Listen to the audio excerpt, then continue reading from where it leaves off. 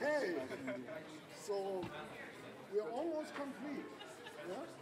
He worried. He worried. We need more. He worried because nobody show up, you know. Yeah, right. Yeah, yeah. Hello. Michael Boss. Nice to meet you.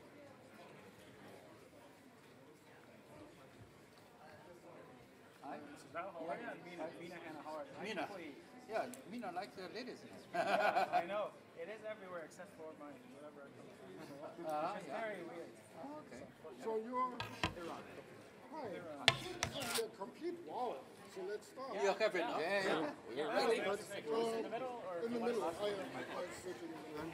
You want to sit there? It's because you're presenting, right? Like, uh, Marina, Marina, you ready? You have a special order? Wait. No, no special order. Sit down. We need. Okay. Mina is apparently short for female names. Yeah, yeah, yeah. Hey, you made it as well. Hi, Yes. That's very nice. So, if I may, we have enough chairs? We have enough chairs, yeah? Maybe this is your first presentation, so I think then. No, no, no, no, no. Just have to find the presenter.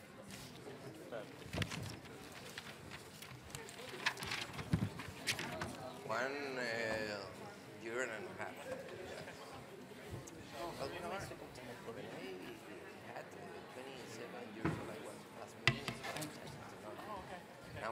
1944, we use science, technology, and communication. Oh, Accordingly, we increase, we increase the problem because, you know, Okay, let's get started. Good morning, everybody. I'm very pleased that with a slight delay, we are starting this uh, distinguished panel. Um, I think we only have half an hour, 40 minutes left, so the entire program will then be squeezed. Um, my name is Wolfgang Kopf. I'm heading public and regulatory at Deutsche Telekom. And I'm really pleased to have such a distinguished panel um, in order to speed up things.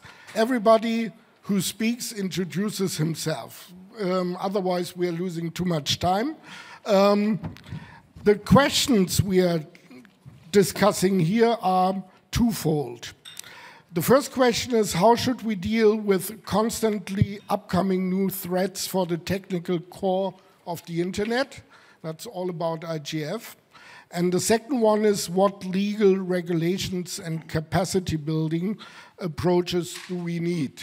So it's about technology and it's about international law and maybe also national law. Um, I know we have a variety of experts here who cover both. Um, we will start with Professor Waidner from Fraunhofer. Where is he? He next to me. Sorry, we have no seating order. Um, and before he starts, let me give you just a few facts about cyber threats. Um, we at Deutsche Telekom operate one of the biggest cybersecurity centers in Europe. The head is over there. Um, employing almost 2,000 people. And what we are doing there is also we are constantly monitoring um, the attacks which are seen in the internet. We use so-called honeypots, that's uh, small devices simulating to be um, a vulnerable device in our network. Of course, they are not, but we detect the attacks.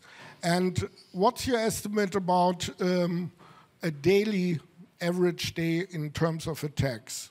I'm not asking somebody. The average is currently about 50 million per day attacks on these devices. In peak, it's 100 million per day. If you then look at recent figures, um, Bitkom, the German Association of uh, Digitized Companies, just um, published some figures. Only in Germany, the damage from cyber um, crime is 100 billion euros per year. And um, three out of four companies in Germany have already experienced data theft, espionage, or other threats uh, coming from the cyber. If you then look at the recent uh, World Economic Forum report, their estimate is six trillion trillion dollars in 2021 of damage worldwide coming from cyber. So that gives us an idea how economically important this subject is. But I leave it with that, and Professor Waidner, the floor is yours. So thank you very much for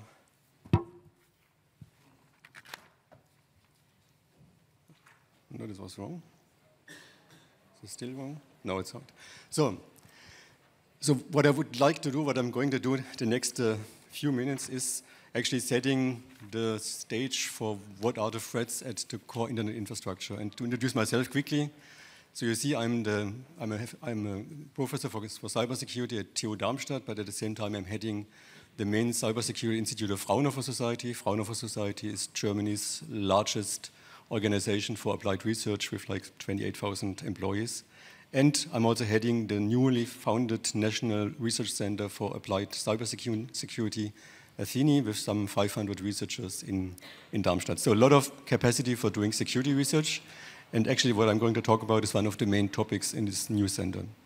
So what are the key challenges for security and safety and for stability and resilience? And what you see on the right is kind of a, of a mini Mickey Mouse stack you have cybercrime, industrial espionage, disinformation, which is targeting applications, of course. Underneath are the internet applications, and at the very bottom is the core internet infrastructure, which is what I'm going to talk about. So typically, attacks, hacks are coming from all sides, but they typically exploit weaknesses, problems at the bottom. And what are these weaknesses? That's what you see on the left. These three, and I'm going to talk about each like for one minute. So the first one is establishing ownership over resources. And this is actually something that everybody here is experiencing. So if you want to do anything over the internet, you would like to know who is the other side, who is the other party. How can you identify them? And on the internet, most people would say, of course, that's a PKI problem. There's the web PKI for something like um, SSL, TLS. There is resource PKI, RPKI for something like routing.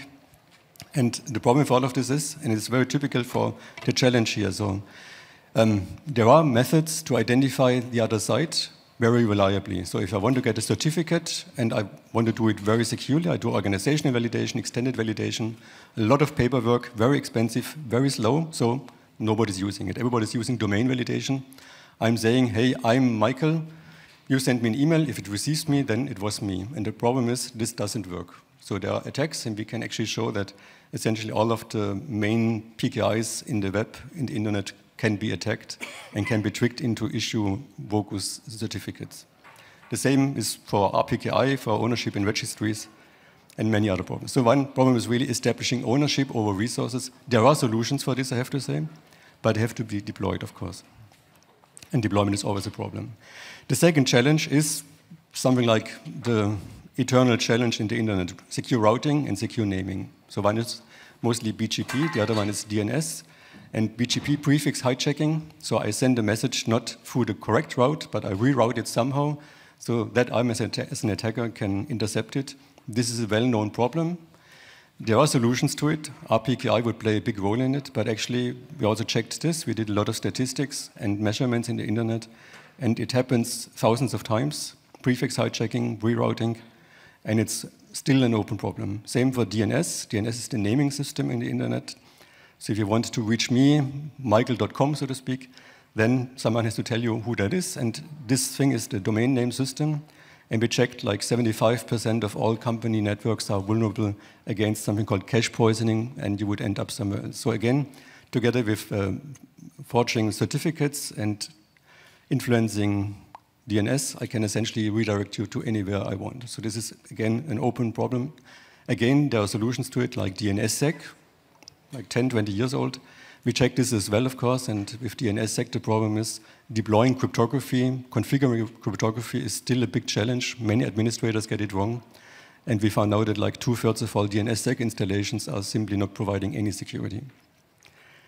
And the third challenge is on availability, performance, and stability. And here you see one example. I'm sorry for the German here, but what it essentially says is that we did a very simple experiment. where we tried to measure a few things in the internet, and we did this by using some usually not used flags in, in TCP. And problem is, routers didn't behave well. Instead of doing what they should do, they, many of them simply crashed, and people figured out that actually by just using standard protocols and doing something that is not so common, you can do the perfect denial of service attack. So no need to have a botnet, you just send the messages and that's it. And what it shows you is that actually the internet, this basic core infrastructure is very fragile. Um, we need to find ways to figure out what, the, what devices are there, what is the software, what is the hardware that, that is used, and we have to find ways to more quickly deploy better solutions. So again, these are the, this is the third challenge.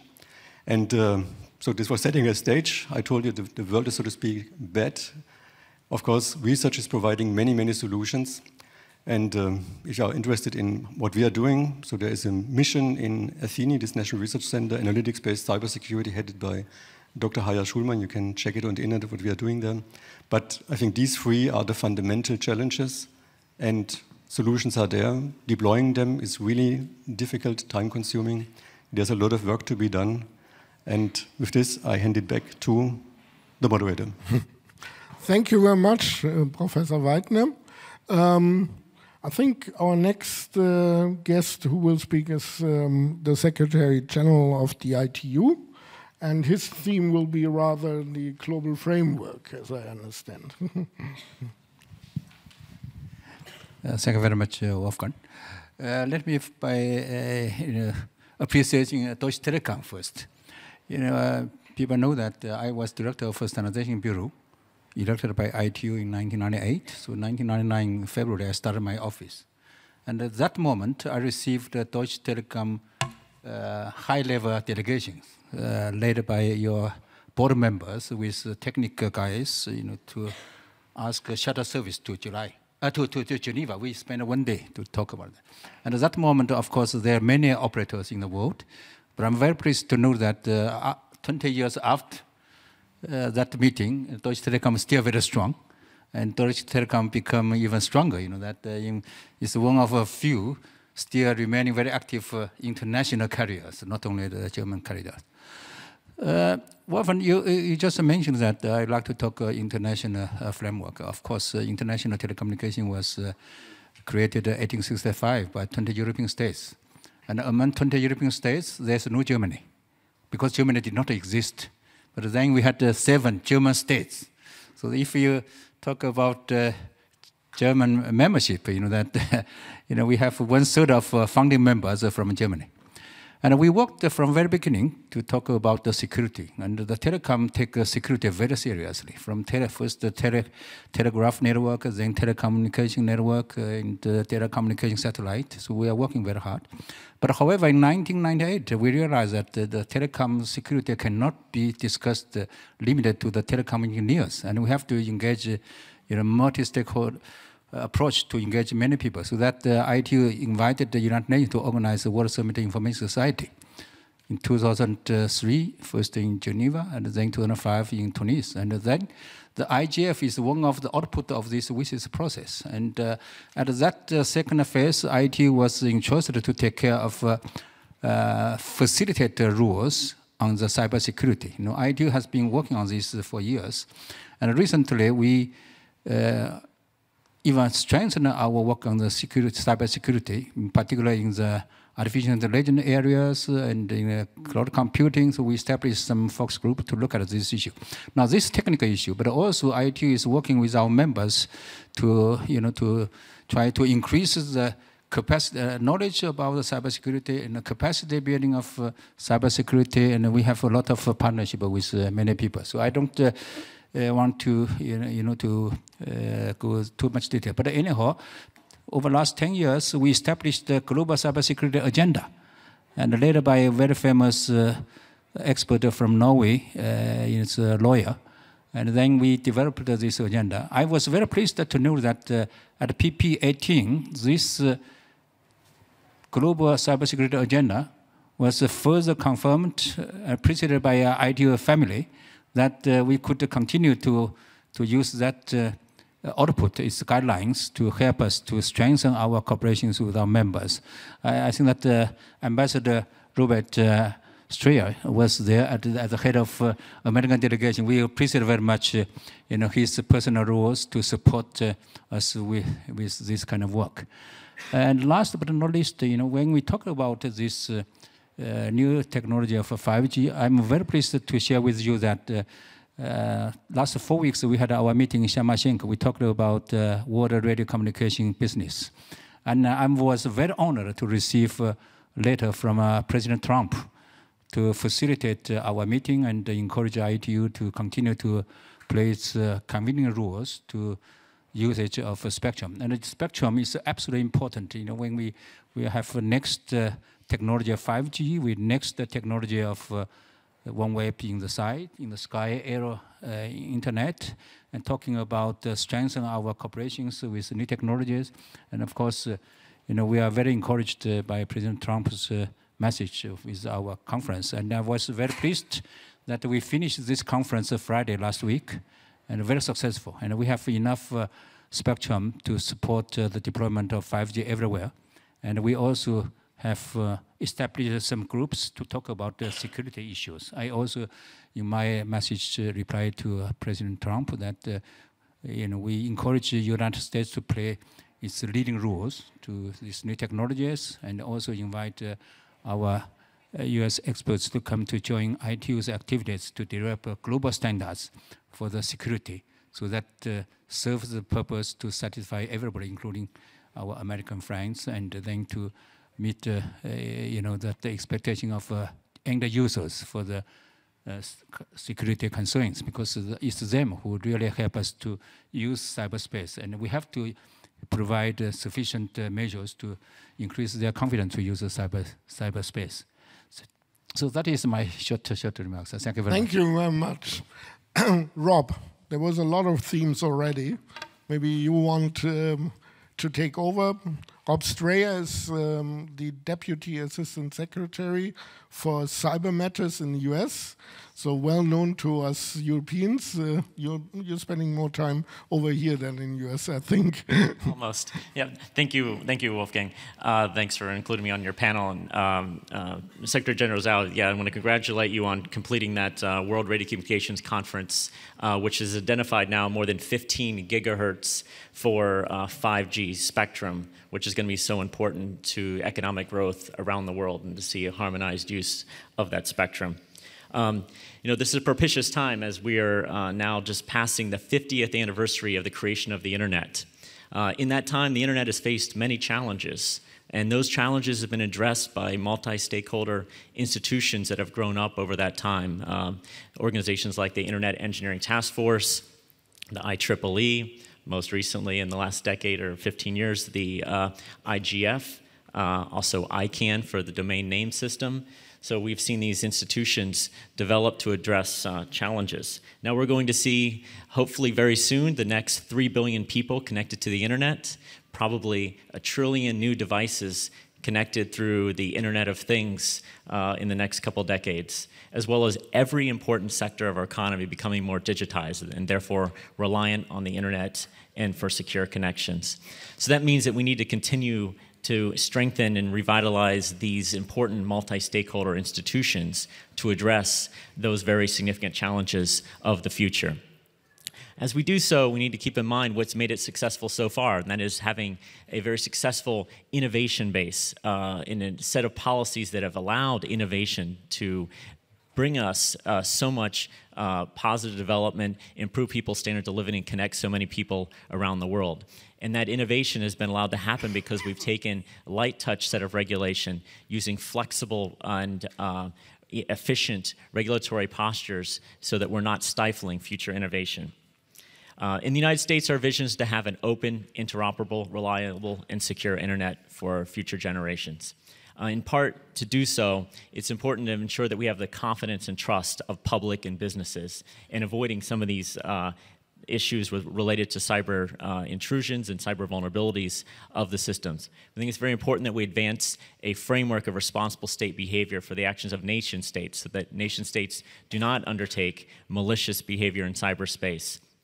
Uh, we along with a number of other nations through the UN and actually endorsed by the UN General Assembly, have supported a framework of responsible state behavior that includes recognizing that international law applies in cyberspace just as it does in the real world, and there are certain norms of responsible state behavior in cyberspace. And those include that a nation should not attack another nation's critical infrastructure that is providing services to the public. Uh, we saw uh, at the, on the sidelines this last September of the UN High Level Week, 28 countries come together to say that we support this framework of responsible state behavior and that states that act inconsistent with it and contrary to it should be held accountable.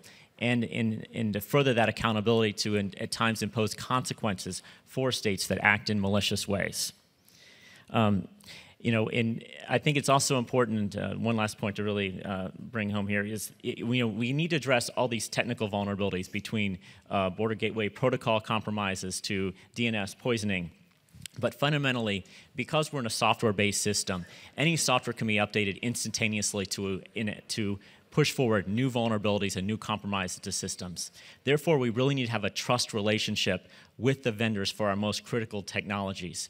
In the case of something like 5G, the fifth generation wireless technology, that will support artificial intelligence and all types of critical infrastructure, including the distribution of electricity, we must have the highest standards of trust with those vendors. And so the United States is encouraging countries around the world to adopt trust frameworks that include looking at whether the company is headquartered in a country where it has to comply with the rule of law and has an independent judiciary in place to ensure that it adheres to our most fundamental human rights, including uh, protection of free speech and freedom of association. A vendor that's not in a, in a system where it complies with the rule of law and there's an independent judiciary to vindicate those rights is one that we cannot trust with our most precious data that will be generated on 5G systems. So with that, thank you. Thank you, Robert. Well, what's the view of a smaller state? I think Minister Salazar is, uh, is well placed to, to give us some insights. Uh, you got a background in engineering, so you're talking um, not only politics, but you would be also able to comment on the details. So please go ahead. Thank you very much. My name is Luis. I am the Minister of Science, Technology, and Telecommunication of Costa Rica. It's very important when we talk about cybersecurity because we are talking about people. We are talking about children. We are talking about all the people that uh, live in vulnerable areas. So, my message is that we want to improve all that we are doing under two concepts. The first of all is to gender equality and protect the child.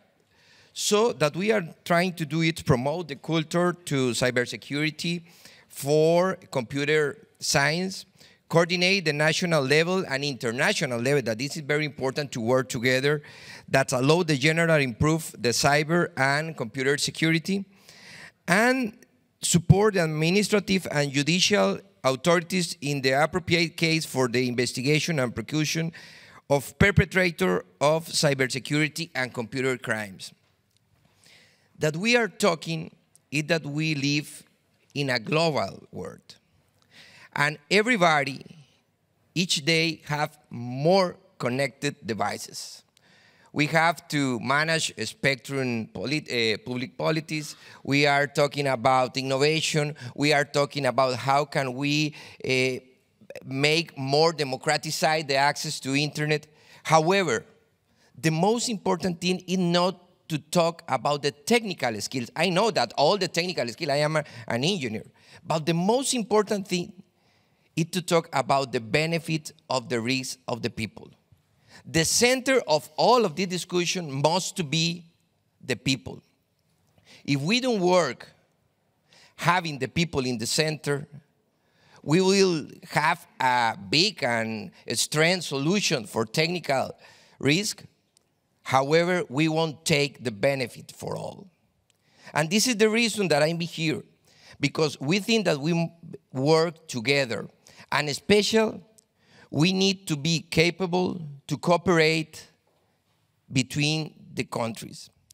Sometimes we trying to define our national strategy, but this national strategy depends of our ideology.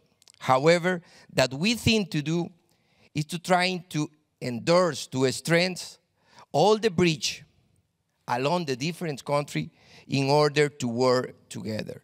So I think that if we fight in order to increase the capacities of the vulnerable people, we're going to move on and we're going to get more benefit of all of these challenges that we are facing. Thank you. Thank you very much. I'm now pleased to introduce uh, Michael Bolle. He is the member of the management board of Bosch, a company which is increasingly a software company, a quite big com software company, and he's the CIO and CTO of Bosch. Yeah, thank you very much. So my name is Michael Bolle. I'm Chief Digital Officer and Chief Technology Officer of Bosch, and there's a a big reason behind that. We um, are a strong player in the Internet of Things, and actually, the Internet of Things is a combination of the things world and the virtual world, the digital world, and therefore we have both roles in, in, in one person. And I would like to elaborate a little bit on the role and the importance of trust in the Internet of Things. And um, at uh, our initiative, uh, representatives of uh, leading international associations like the IEEE, like Digital Europe, ETSI, Eclipse Foundation, Trustable Technology, Platform Industry 4.0, the Industrial Internet uh, Consortium, and the Trusted, I, um, Trusted IoT Alliance met for the first Digital Trust Forum in Berlin in May this year. And the main focus of this gathering was to answer the question how to build safe trust in digital systems. And in order to understand this, we all know that um, the global IoT market is significantly growing. So we see 250 billion US dollars revenues in already in next year. This is a growth of 35% year over year.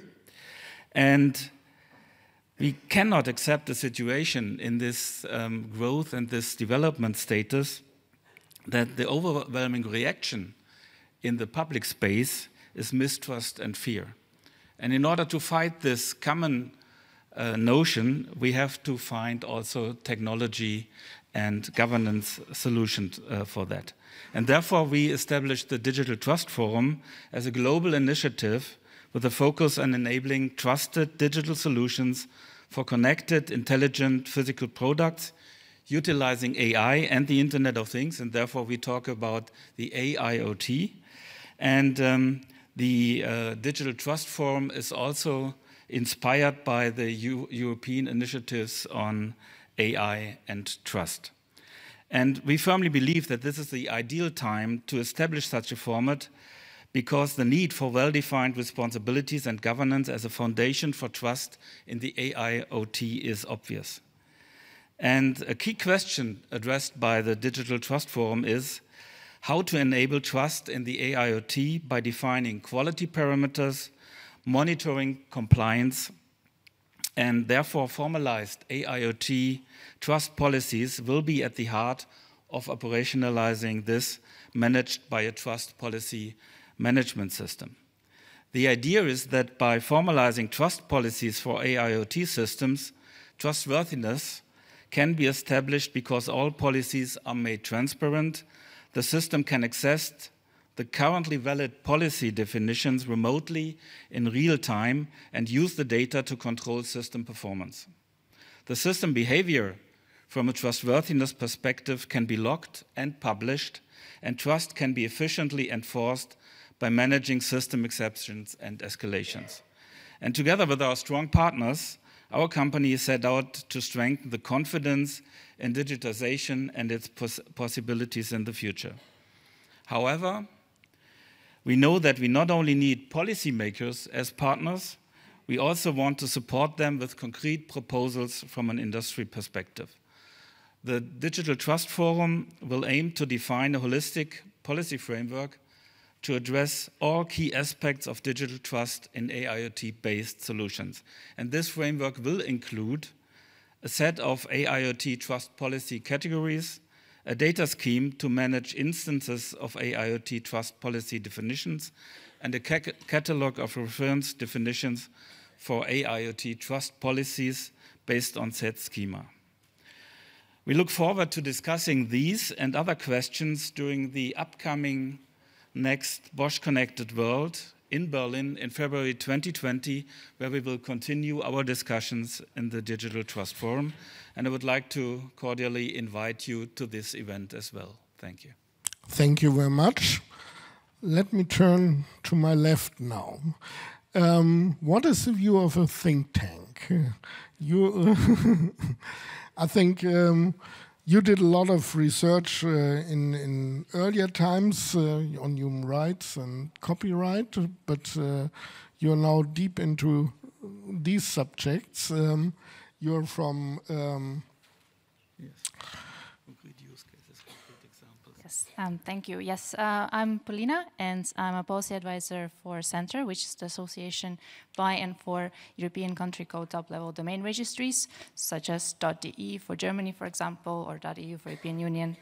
And um, yes, thank you for this opportunity for being at this panel. And um, yeah, so I represent technical community, and um, when we speak about cybersecurity, uh, we need to make an important distinction. So first, there is crime committed online, facilitated by the internet. And second, there's criminal activity that is aimed at disrupting internet infrastructure, including domain name system.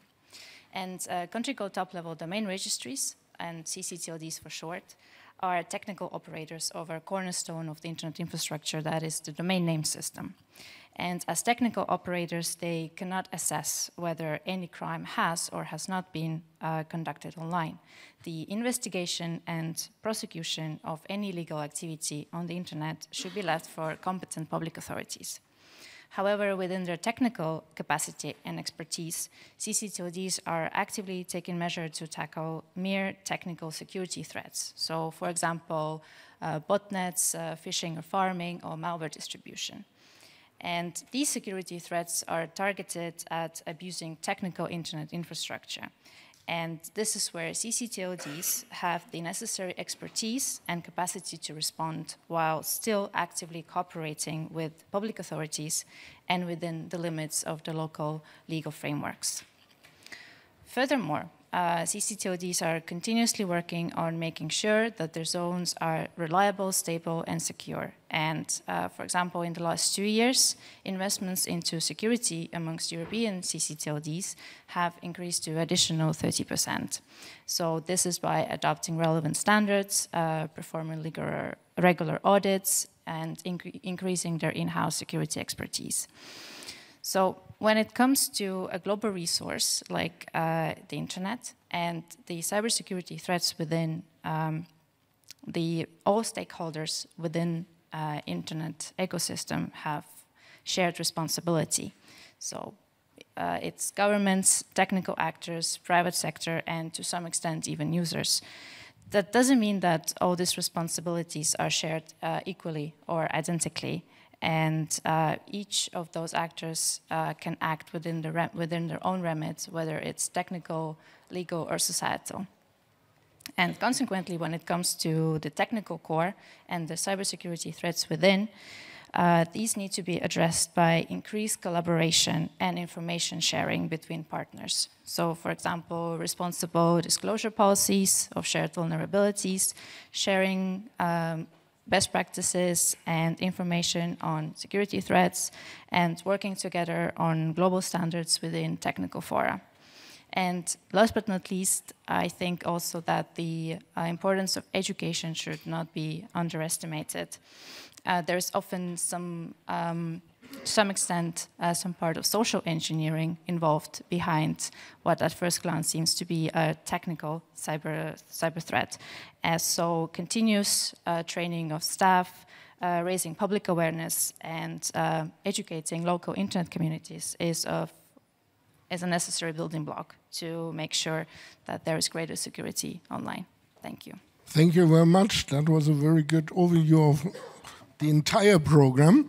Let's go to standards. We heard more about uh, standards in different uh, remarks. Uh, Mina Hanna is the IEEE representative, and he knows best about standards in this circle, I think.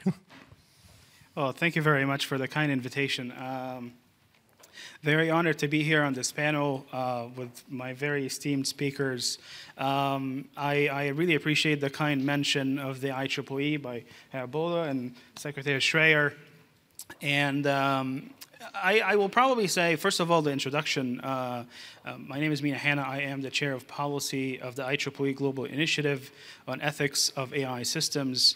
I'm also the chair um, of the IEEE USA Artificial Intelligence and Autonomous Systems Policy Committee. Um, the IEEE, of course, had, you know, as you may have heard with the IGF and other organizations like ICANN, um, had a very important role in defining or creating the infrastructure that enabled the internet.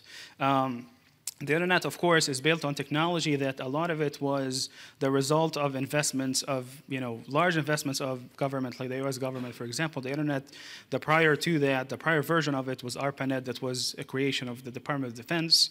Um, on top of it, there were a lot of protocols that were invented to facilitate the commerce and sharing of data and so on and so forth, like the TCP/IP, um, you know, Wi-Fi standards that IEEE had created, uh, the 802.11, and all of its varieties from A to I don't know however many letters we have now. Um, but you know, those standards, and, and on top of that too, you know, that entire infrastructure is not just technology, it's conventions, it's diplomacy, it's agreements, it's a lot of multi-stakeholder efforts to govern what is exchanged on, you know, on the internet and so on and so forth. Now, in the global initiative, we have noted, and of course that was you know, driven by the fast progress and development of artificial intelligence and autonomous systems, which, you know, without too much guessing, you'll probably be able to conclude that uh, the pervasiveness of many of these technologies and how they are so ubiquitous in our lives, um, you know, and AI, uh, AI uh, IoT, um, enabled a lot of, you know, or will enable now and more in the future, we will see the, the, the increasing, you know, growth of more vulnerabilities, for example, cyber vulnerabilities will create, you know, a larger sphere for, um, um, you know, cyber vulnerabilities that, that would actually be a, quite a bit of a threat to, you know, what we have built over the past 20 plus years, um, you know, uh, in resilient and, and safe and secure, you know, global supply chains, for example which makes that a very, you know, kind of a big threat to global economies and the free flow of data, free flow of commerce, and free flow of the internet.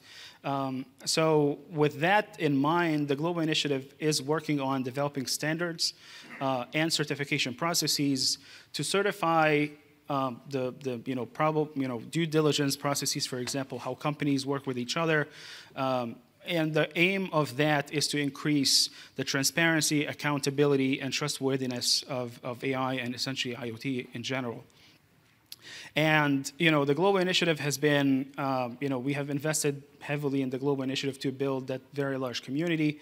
The community now is engaging with a lot of governments. Um, you know, we are, of course, here today at the IGF. Um, IEEE USA, for example, advises policymakers in the US on AI policy, internet policy, cybersecurity policy, and so on. Um, and the global initiative, we've, you know, through it, we have engaged a lot with the OECD, the high-level expert group of, um, you know, uh, in Europe, um, and we, you know, we were one of the first organizations that published, you know, principles for uh, trustworthy, you know, AI and so on. Now, I will say that perhaps maybe, and this is my personal uh, worry, is that what I'm most concerned about is uh, what we might see, you know, in terms of balkanization of technology in the future. Um, it seems that we have, you know, I don't know if you, if you really want to call it, it's kind of a catchword, but like the AI race and so on. Um, you know, we we are seeing that there are some different schools of thoughts on what are the values that should govern the internet, that should govern, govern what we do with AI tools and autonomous decision-making systems that have implications, and we're going to talk too much about that during the next four days uh, on human rights and civil rights and so on. Now, if I were to pick on something that um, Mr. Kaeser had said in his, the CEO and chairman of, of Siemens, that, has, that he has said in his opening uh, keynote, he said, now is the time that we define the rules. And by the rules, I hope and I know that he meant standards and on you know on other things, of course. Um, you know the multi-stakeholder dialogue that raises the awareness of all of the community that have to be involved in order to weigh in with the values that they understand are critical and important. And that, of course, is the role of you know um, the speakers here, everybody who was in IGF, essentially critical role for diplomacy, signing conventions, and having more and more engagements and dialogues. And we look forward that we will stay more engaged in that. Um, you know, reach out to us, work with us, and we have a lot of collaborators, and we continue, you know, that collaboration, hopefully to solve that, um, that you know, problem and challenge. So thank you very much. Well, thank you very much. Finally, we have Aaron Brown. He's a data center architect, so he knows best how to really protect our data. And we're coming back to the technical level, I suppose. Um, I'm going to stay on the policy level and I'm going to steer away from technology. Uh, okay. my name is Aaron Brown. I'm the uh, CTO for EMEA at a company named Infinidat. Um, two points you mentioned throughout the panel that I want to tie into. Number one, you mentioned $6 trillion in investment and damages expected from cybersecurity. So we're spending a lot of money and will be still accumulating a lot of damage. Um, under GDPR, NYDFS, and various standards and regulations, we call on enterprises, corporations, to protect the PII, the personally identifiable information of the data subjects, and that's important. However, I feel we're lacking in encouraging companies to protect their own data. If a lot of that cyber damage comes from intellectual property theft, and a lot of that theft is through social engineering, through the human element, we have to devise our systems to design for failure. That means we have to encourage corporations to not only encrypt data that will get them a fine of up to 4% of their turnover, but also to encourage them to encrypt the data that may cause them to go bankrupt because somebody else, a company in another country, stole their intellectual property and can now compete with them without the cost of R&D to get there. So point number one is we have to start looking at how do, what data needs encryption beyond just personally identifiable information. What critical infrastructures or critical technologies will be potentially stolen from companies. And we see data breaches at the orders of hundreds per year. And that number keeps going up and up. And it's a human element. So number one, let's encrypt more data to protect our intellectual property. Number two is the human element of that. And here I could not have a higher level of agreement with Polina, who said we have to have education. In Israel, they ran a study 94% um, of all images and videos shared by pedophiles comes from jeopardized mobile devices. That's a terrible number because we don't have digital hygiene, because we don't teach kids how to protect themselves online. A couple of years ago, as part of a volunteering project I do, I started working with um, about 20 year, year olds to um, make them more aware of what is being done with their data online. It takes quite a few minutes at the beginning of this training to get them to understand that, for example, for a company like Facebook, they are the product, their data is getting sold. And they're using these tools for years. They were kind of born into the digital revolution. And they have no idea what's happening behind it. They have no idea how to protect their accounts from password theft, for example we are missing one element that is completely not technology. It's education. How do we build educational programs that will make the end user in the enterprise more resilient to phishing and that will make the next generation, our kids, our grandkids, more resilient to social engineering? We're seeing cases of bank, uh, bank money theft. We're seeing social accounts getting locked out by hackers a lot of our lives are not digital. We have to start thinking about educating younger generations on how to protect them. That will also have a great side effect of having better educated employees in the organizations and enterprises and commercial sector. But in this context, I treat it as a great side effect. 94% of pedophilia online comes from jeopardized devices. That alone should trigger action from our side. Thank you.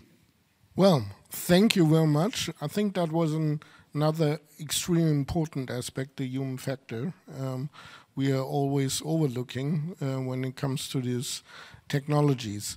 Given the time pressure, uh, I'm not asking questions, but I open the floor for one or two questions uh, to the audience. So who likes to pose a question to our distinguished panel?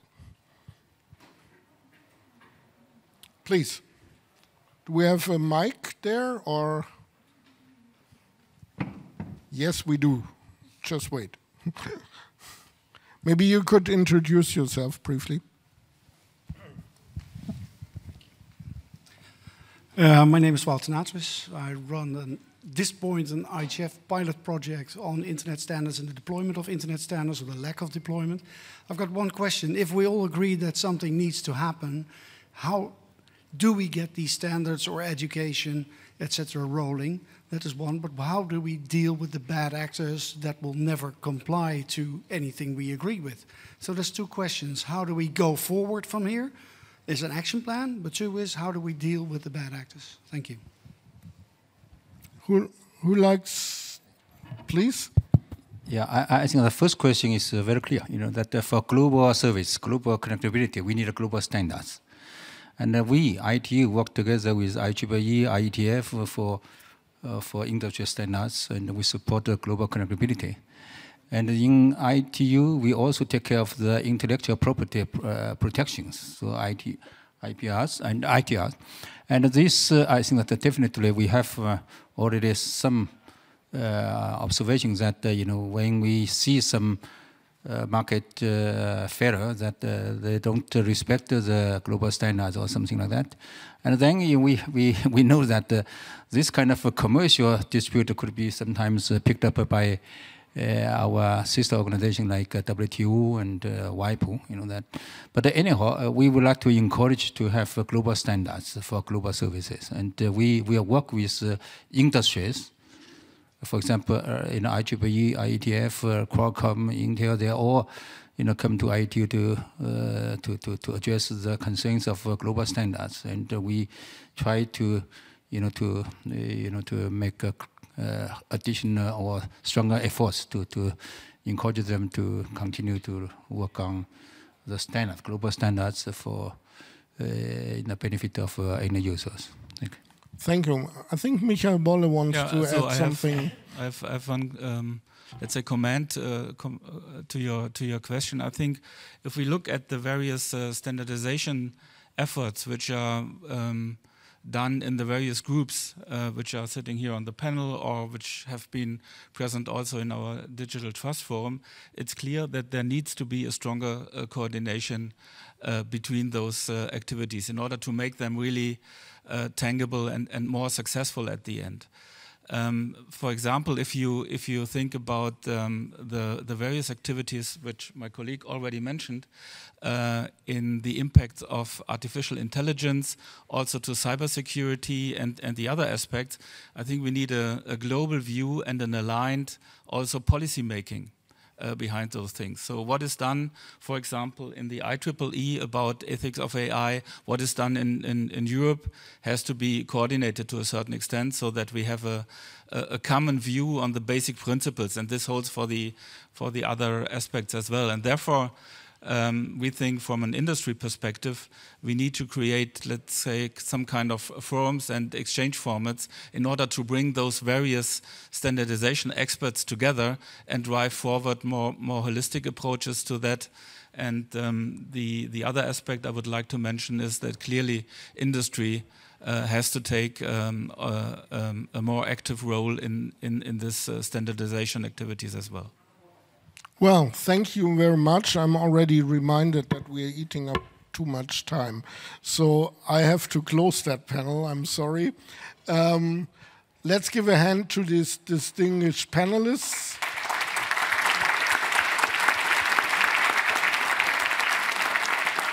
I think we, we covered a very comprehensive set of themes. Um, so uh, I'm not uh, summarizing this, and I wish you a very successful IGF. Thank you.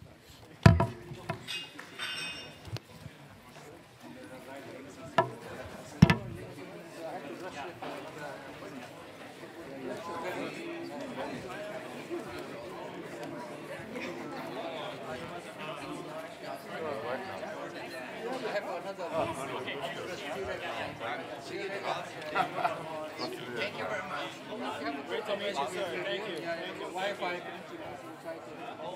Absolutely. Absolutely. Thank you. Yes, sir. I, re- I really like your, your point of view. Oh, thank you. Yes, yes, yes. Thank you very It's much. more than technology. It's agreement, it's education. It's a lot how of- to I'm, reduce. I'm sorry that we didn't have uh, time. That's I think okay. We had a very nice Thank you very much. I, I think the perspectives were very varied. Please, uh, let's stay in touch. Abs- abs- Absolutely, and I- I'll tell you really quick that we have been trying to grow our reach in, uh, in communities we are not in. So so Central America, we want to work with Central American governments. We want to work with South American governments to deploy and try Come with this me, out. please. Don't forget I'll be in touch. We're building a South America slash Central America, I don't know, global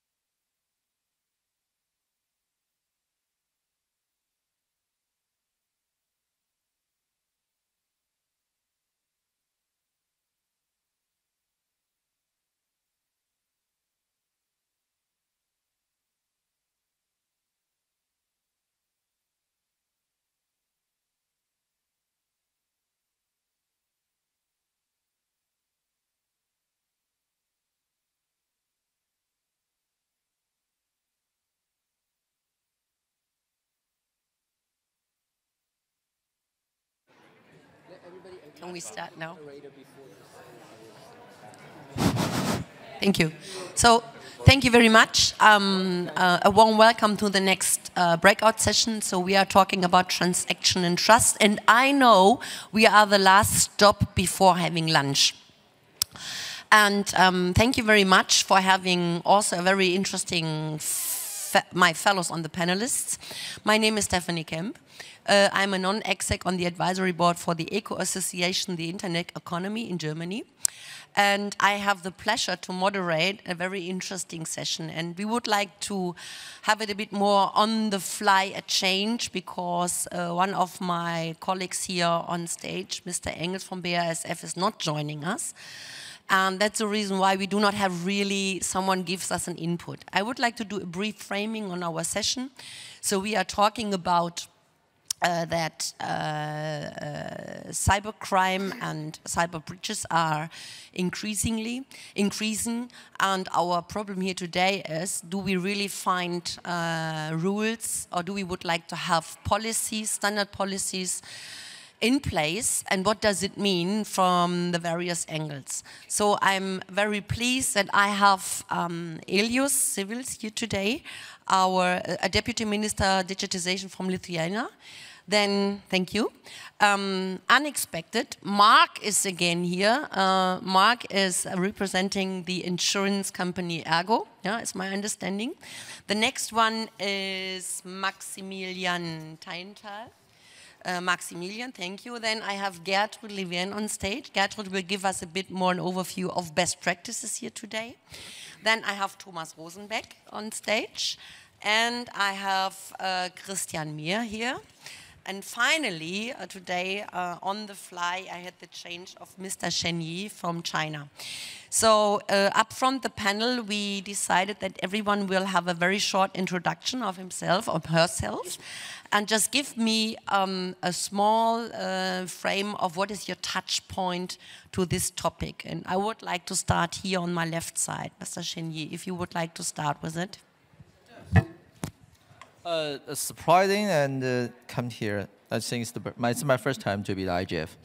And I'm coming from the universities, uh, serve as kind of uh, research on these cybersecurity things. My background is information and international relations. So I'd like to talk about these things in the background or the framework of international series. In the series of these international relations, we talk about norms, mechanisms a lot. This kind of norms and mechanisms, the main functions is to regulate the different actors' behaviors, to make their behaviors more predictable, more stable, and finally lead to a uh, kind of consistent, stable cooperations among different actors. And the second, I think such kind of norms, of course, is very important to the cyberspace, especially in today's world. In today's world, just like Professor Joseph Nye mentioned, that these ICT revolutions happen in an environment which we don't have enough trust among the main actors, which means the state actors. While simultaneously, it's very interesting to find out the development of ICT and the cyberspace depend heavily on whether these actors can have enough trust and cooperation with each other. So it's kind of very interesting paradox games. On one side, these, these actors, they compete. They computer to have more influence, to enjoy more advantages.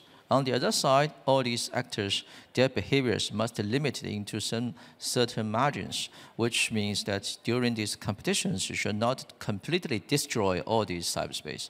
Yes, if you unilaterally enjoy these advantages too much, you destroy the basic trust, no global cyberspace and no these games, and then with no internet. So it's very interesting games.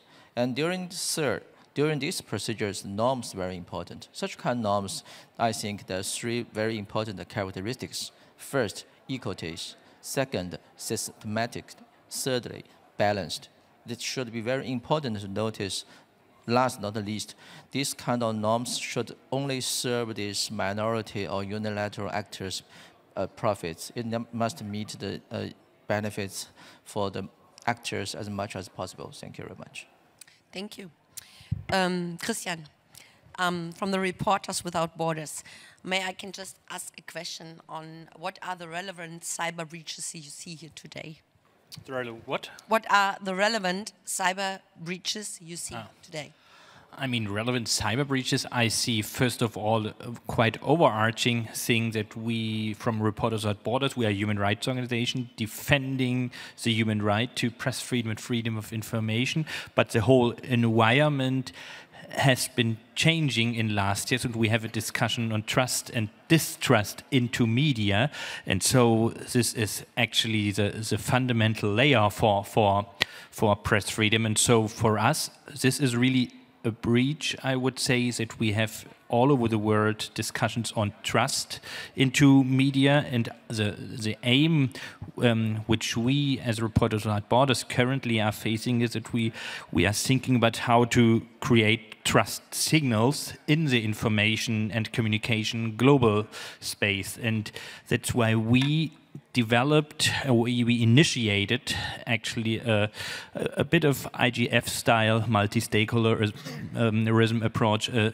so-called journalism trust initiative, which is actually a, European standard, um, which in the idea is, um, which this in the end should be a trusted third-party me mechanism to to to incentivize media outlets that respective journalistic methods and ethics can be prioritized by by um, in algorithmic indexation. And that's why we in the last year we had a procedure a discussion with several stakeholders. Um, and it's important that Facebook Google they participated in the project and they even registered for it. A, a multi-stakeholder um, approach with media with with associations and uh, moreover as I said Facebook Google which is important. And we aim that actually this um, prioritization in the algorithmic indexation in the end will lead to some more trust if people can identify better some ethics and principles. But what is important, um, we don't have the aim to judge any content. Um, it's just about ethics and principles because we as a human rights organization, we are not defending any content. And so the question of trust is for us really a major uh, uh, uh distrust. Actually, the growing distrust is a major breach. Thank you very much. So I would like to um, go to um, uh, Mr. Uh, to Ilios. Ilios, um, when we had a very easy chat before having this panel here today, and I really like your question. Um, you would like to raise me. Do you feel secure in the internet? Well, um, I think this is a relevant question for all of us. Um, me personally, I feel secure, but uh, if I think of uh, my main stakeholders, like my grandmother or my mother or my kids, I don't think they feel uh, very much secure, and this is because of this mystification about this cyber security, cyber crime, and everyone talking, you know, about the digital skills. So the problem is that um, on one hand, we are like in the government we are focused very much on the digital enabled services. So in Lithuania, we have 86% uh, of all the citizens and 90 something percent of all the enterprises that engage with government through the digital channels only. So in other words, everyone is uh, talking to us digitally, but then not everyone is having enough understanding what's happening in the digital space. So in the government, in the past, we were so much focused on the digital skills. So what it means, it means like basically training my grandma to, to do programming. But it's not about programming, right? It's about how do we understand their identities in the digital space, how we understand the ethics, how we understand, you know, the rights on the digital space. So I think the digital intelligence is what we are really aiming at. And if we increase that with the society, then I think we mitigate a lot of, lot of those crimes as well. Thank you. So Maximilian, just to my right, um, the founder uh, of this C uh, NCFO of N26 GmbH. What are you exactly doing? Um, N26 is a fintech startup based in Berlin. We founded the company in 2013. Um, today, I think we employ about 1,500 people. The idea behind N26 has always been to build a pan-European bank, uh, the vision behind N26. So we're the only ones today that based on one IT platform and one banking license onboard customers all over Europe. Like that vision has become bigger lately. Today we want to build the first global retail bank we just launched in the US um, from New York with other markets to follow. So what's the product of N26? We are providing a digital first uh, bank account. So we're providing a product for millennials that like to do things on the smartphone after we actually realized that while there's a massive shift in user behavior, like from offline to online to mobile. So in our world, people used to go to the bank branch, then they did banking um, on the browser, now they do banking on the smartphone. And we realized that no bank, pretty much throughout the world, is really providing a great product, a great digital user experience for um, people that like to do things online and on their smartphones. And that's kind of the niche we're tapping into. I think we have four and a half million customers today, and we're the fastest growing bank in Europe. And my understanding here is if you are working as an online banking, um, does it mean are there specific challenges um, how to I would like to say um, prevent cyber or um, internet breaches from your point of view to I would like to say establish and provide a secure business?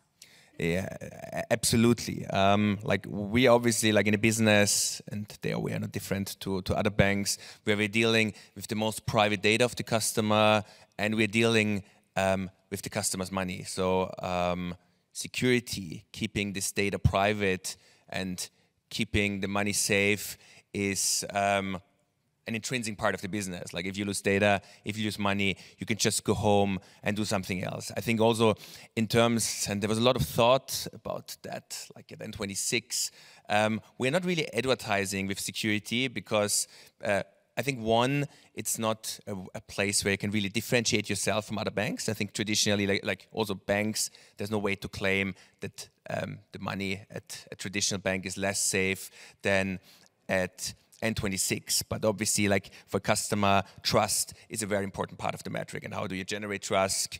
Um, it is obviously, obviously around service. It is about predictability, but it's also about safety and security. So what we're doing at N26, um, we are basically maintaining the standards of modern technology companies. So we're having a big internal security team. Uh, we have a bug bounty program where hackers are being incentivized to find flaws in our in our code. Basically, they try to attack our systems, like the friendly kind of hackers. And if they find something like Google and, and all the other, like Facebook, all the other companies are having the same concept. You get a bigger premium if you find something at Google than at N26, but um, you get a premium. We do penetration testing, so we engage external hackers to try to hack our systems. And first, they start with zero information, um, trying to, to hack in from the outside, trying to park uh, on the parking lot, trying to log into our um, network, then it would walk in, try to find a laptop, and then you give them more and more information, like finally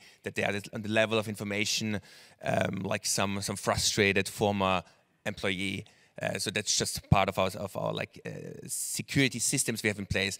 I think most important to know in our world, the weakest spot is always um, the customer. So um, there's a lot of social engineering going on, and uh, I think companies like N26 that have an easy account opening process are even more likely to get targeted. But there's a lot of education uh, to the customer how you can actually prevent of being like um, uh, like used as a tool to to open accounts, for example, that are later used for fraud or for terrorism.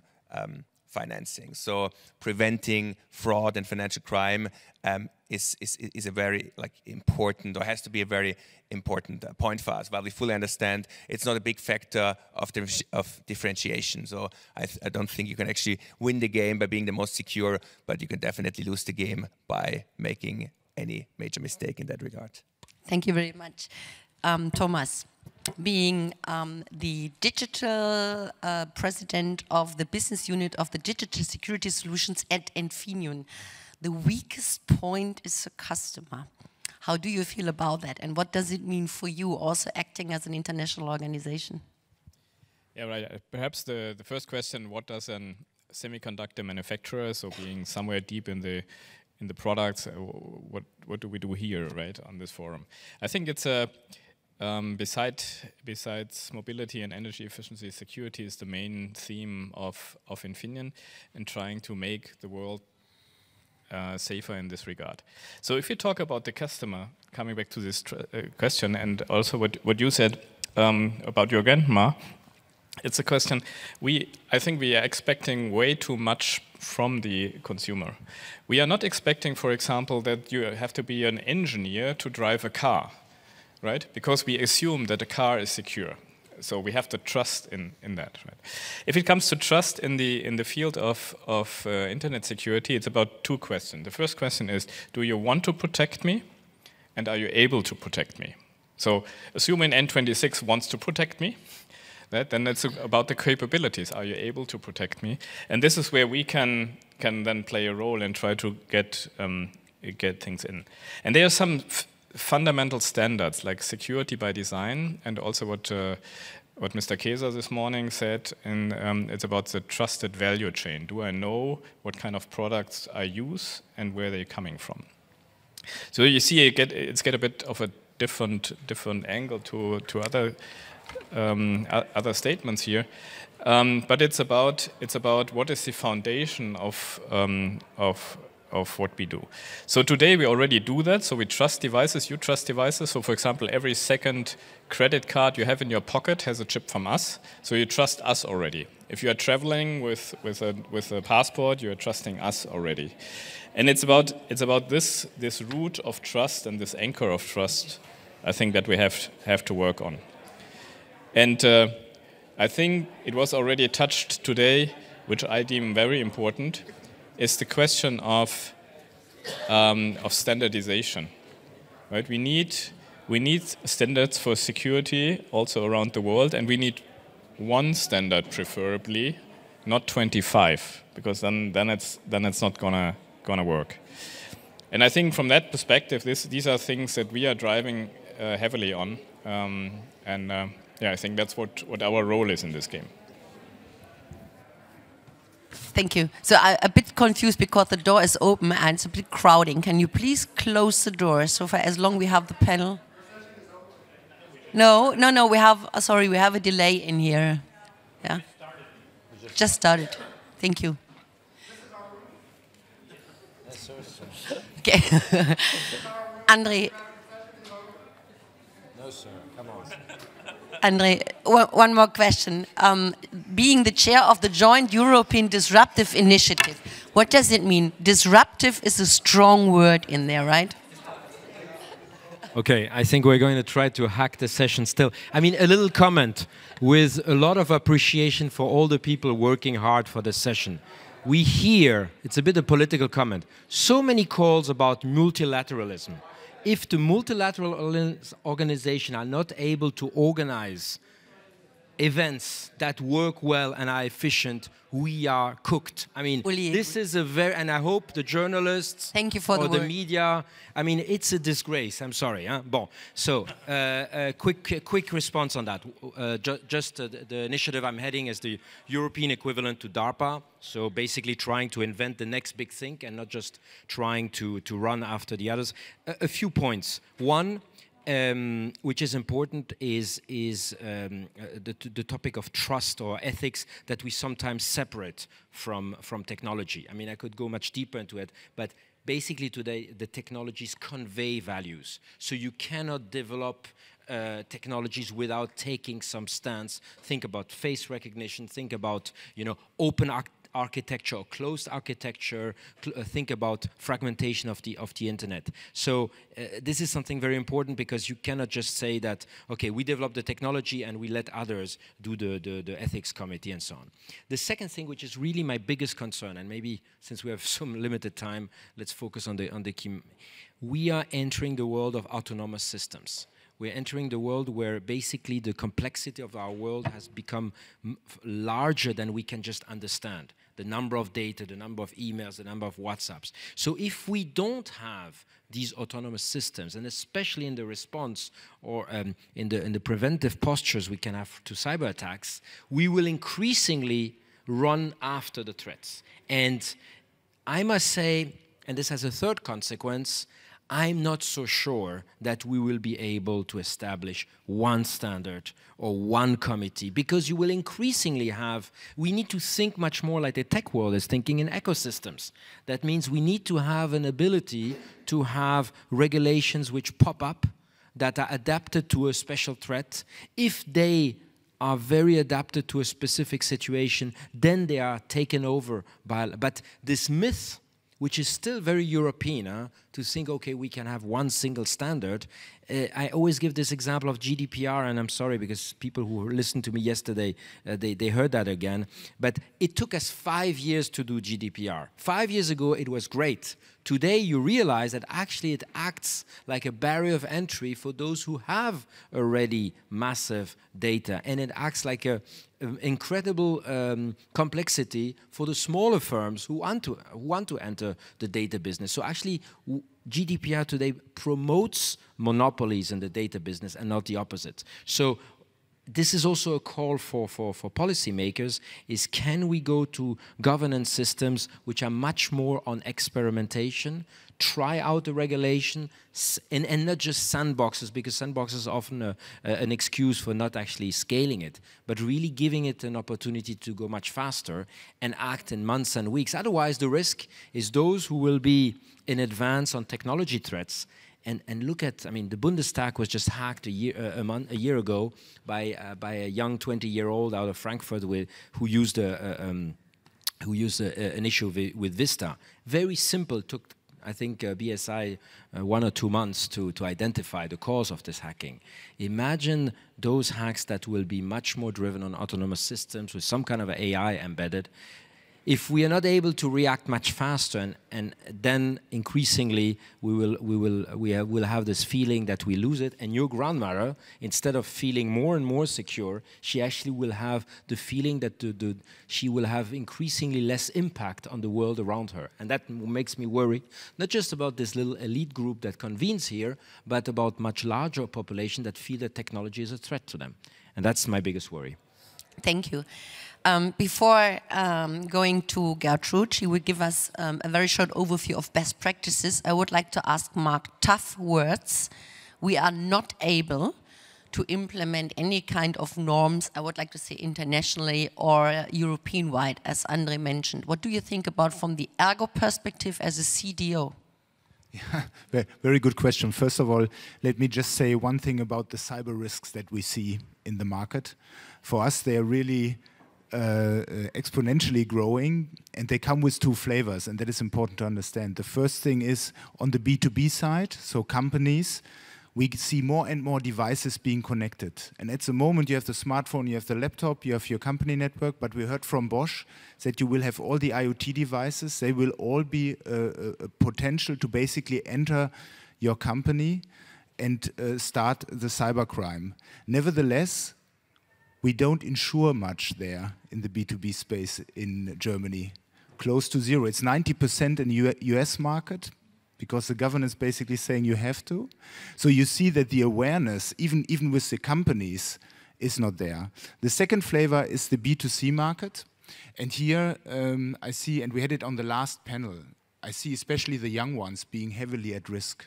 There it's also a bit phishing and uh, a bit uh, um, social engineering, but also the whole thing about cyber mobbing.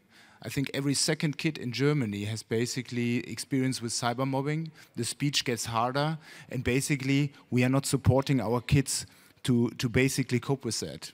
Yeah, when I have a daughter that is 13, she's going to school, the plan is the same than I had. No media competence, nothing. And I think we have a lot to do. But even here, do we have a standard for that in Germany? No. Do we have a standard in Europe? It's very, it's very difficult. We are not pushing for that, even though we know.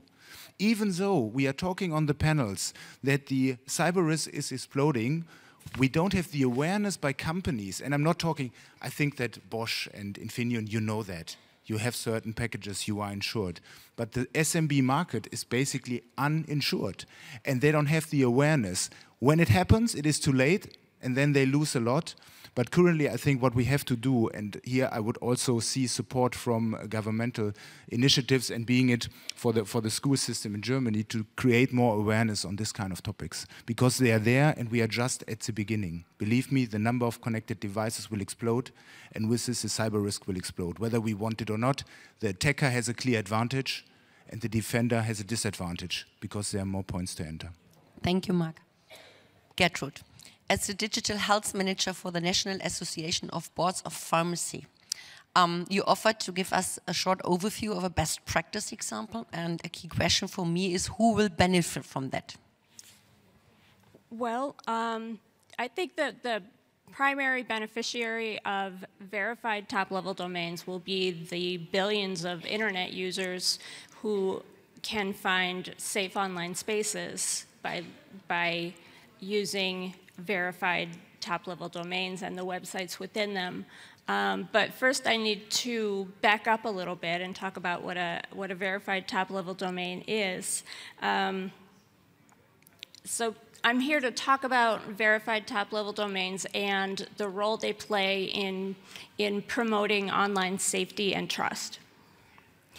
So the current online environment is one where um, the end users really have to beware of fraudulent and deceptive websites. Um, and they're prevalent. So, for instance, 95% of websites selling prescription drugs online are doing so illegally. Um, phishing incidents were up 68% or 41 percent. I'm sorry, in uh, in 2018, and banking scams compose about a third of all phishing scams globally. Um, so verified TLDs are one answer to um, fraud and deception online.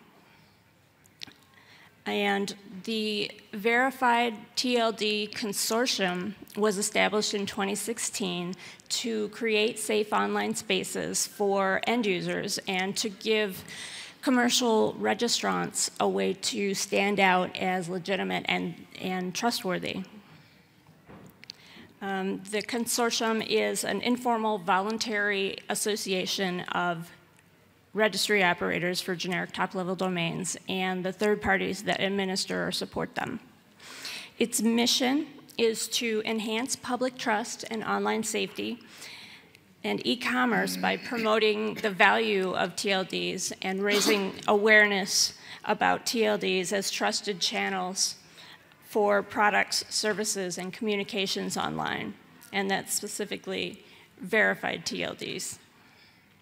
Um, members of the consortium require certain safeguards, um, and those include pre-verification of registrants before they're able to use a domain name, um, for instance, uh, registry operators will verify um, who, verify that the registrant is who they say they are and that they have the proper credentials to register a domain within that TLD.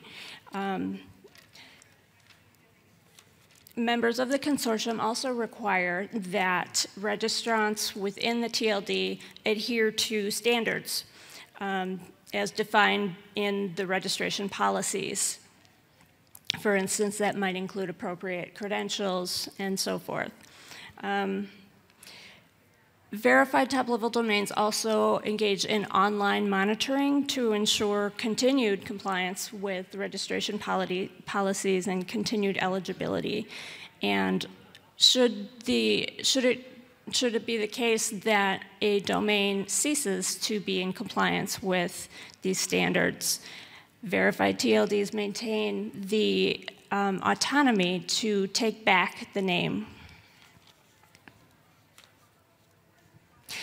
Um, do I have time to present a couple of use cases? Sure. Okay. Go ahead. Um, well, dot pharmacy is one such use case. It is um, operated by the National Association of Boards of Pharmacy, and um, it requires an application to uh, first establish eligibility to register a domain within that top level domain. Um, it requires compliance with with uh, pharmacy laws in the jurisdiction where it's based, as well as where its customers live. Um, in the process um, of, uh, of this verification, it creates a safe online space for consumers to rest assured that the medications or information or services that they're obtaining online are authentic and safe. Another use case is FTLD, which is the registry operator for .bank and .insurance. Um, these are also verified TLDs, and um, they require that, um, that registrants be pre-verified to ensure that they are um, registered or chartered with the appropriate governmental regulatory authority. Um, so in that case, they are providing an online space for um, companies and their customers uh, where, that are, that's more secure and reliable. Um, so operating a, TL, a, verified TLD does not come without a cost. Um, verification is very resource intensive. Um, because verified TLDs tend to serve niche markets, verification registration volume tends to be a, tends to be lower than it would be in, in uh, registries that are completely open to anyone. Um, and not all registrars work with verified top-level domains, but the members of the Verified Top-Level Domains Consortium um, feel that those costs are outweighed by the benefits. And um, those benefits include, um, well, the fact that costs can be offset by higher fees. Um, verified TLDs are gaining recognition within their respective communities. And abuse is practically unheard of in a verified TLD. And perhaps most importantly, um, they promote safety, reliability, and